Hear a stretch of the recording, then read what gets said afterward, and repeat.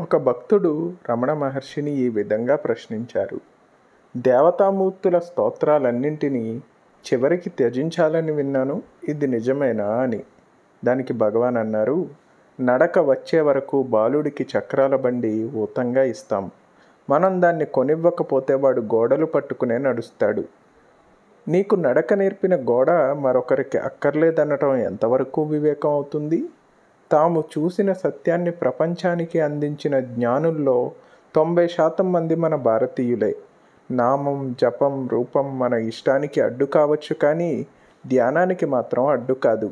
కాబట్టే పురాణాలు మనకు అందించిన వ్యాస భగవానుడే కాదు అద్వైతాన్ని బోధించిన ఆదిశంకరాచార్యుల వంటి మహానుభావులు కూడా మనకి అనేక దేవతా స్తోత్రాలను అందించారు.